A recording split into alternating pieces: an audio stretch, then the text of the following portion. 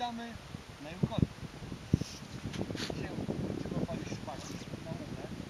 Taka ciekawa metoda, bo trudna.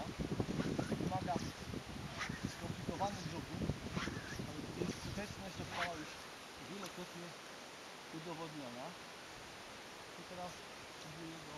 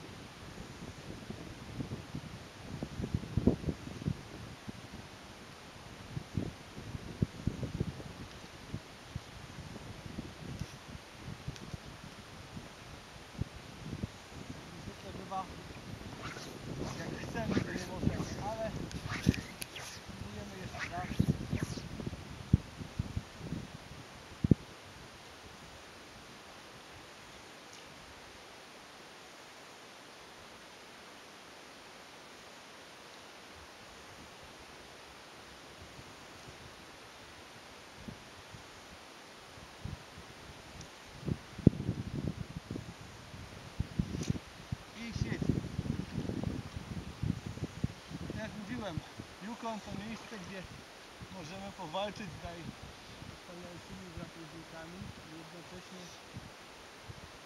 no, pobawić się na muchę. A to jest najlepsze, sobie wyobrazić. Uuu! Ale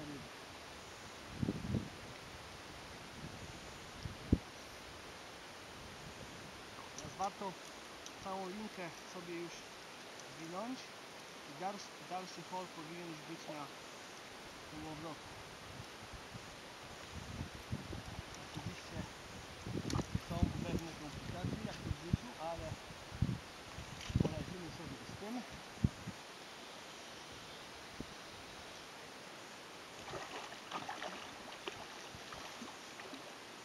Szczupaczek nie jest jakiś wyjątkowo okazały, ale branie szczupaka na muchę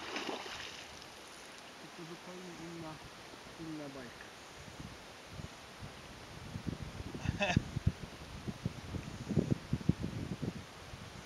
Staram się delikatnie wyhaczyć. Do wody. Pędź. Okej, tak się łowi szczupaki na muchę na Yukonie.